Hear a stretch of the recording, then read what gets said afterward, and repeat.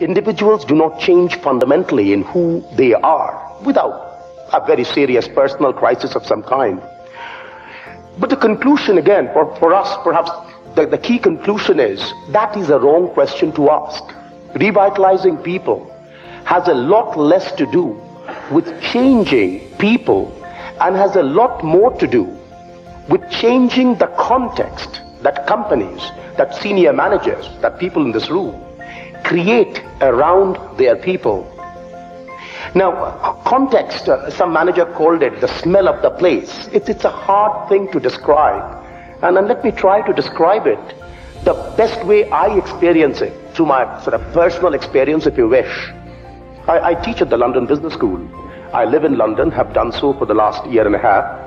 Before that, I lived in Fontainebleau in France for about eight years.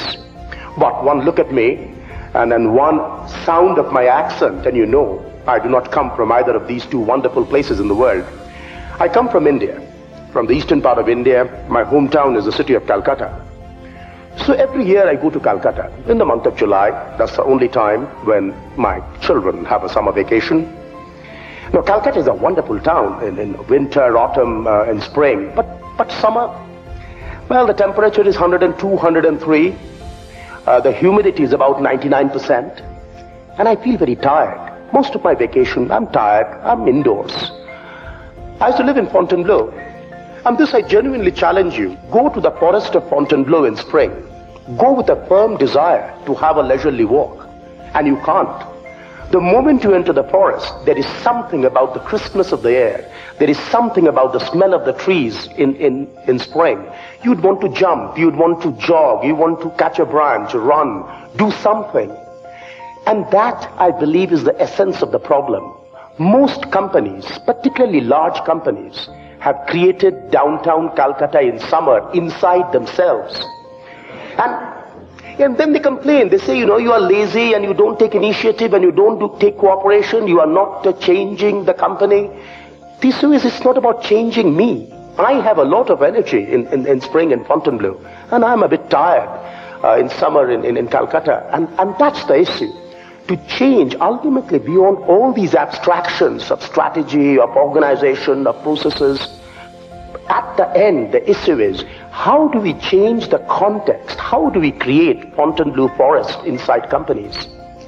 Now, what's, what's the typical context? Typical may be too strong a word, but what's the context that you find in many companies? Not from the esoteric level, where most of the people in this room sit, but from, from the perspective of, of, of this frontline person, the salesman in Lyon. Top management creates strategy. Chris talked about it, and, and that, how does it come down to this frontline person, to me, the salesman in Lyon? Constrained. It tells me by product, by customer, what I can do. It's a box of constraint. The smell, and I'm trying to relate to that metaphor. Uh, we, we, all see it. We enter a place, in the first five minutes, you get a smell. You get it in the hum of uh, people. You get it in the quality, the color. The smell is constrained. Compliance. Companies create this elaborate infrastructure of systems, planning systems, budgeting systems, financial systems. All of it boils down by the time it travels down to me. The smell it creates for me is compliance. I got to comply. Control. My relationship, not just with my boss, but with the entire management infrastructure, is one of control. It exists to control me. And finally, contract. We repeatedly use the word, you know, your job is a personal contract, relationship with the company is a contract, budget is a personal contract, transfer price is a contract. So, constraint, compliance, control, contract, that's the smell we create. That's what I live in. And then we say, you know, you got to proactively create change, you have to take initiative, you have to cooperate. Where are you going to get those behaviors? What we found in our research, on the other hand, is, is a few companies that have created an environment uh, that we describe as the, the, dimensions of stretch, discipline, trust, and support. And, and let me take a minute or two to explain them. Where top management does not create this strategy that boils down as constraints, but rather creates an exciting set of values, uh, an aggressive ambition, all of which create a smell of stretch, Not stretch, we want to be a hundred billion dollar company or anything, but stretch in the sense every individual all the time is trying to do more rather than less. Um, not, not compliance or all the systems that create compliance, not compliance, but discipline, embedding norms of self-discipline. And you can see that in companies. You can see where day-to-day behavior is shaped by these embedded norms of self-discipline. Self-discipline is, yes, it's meeting the budget, but it's much more. It is if a meeting uh, starts at 9, everybody's there at 9.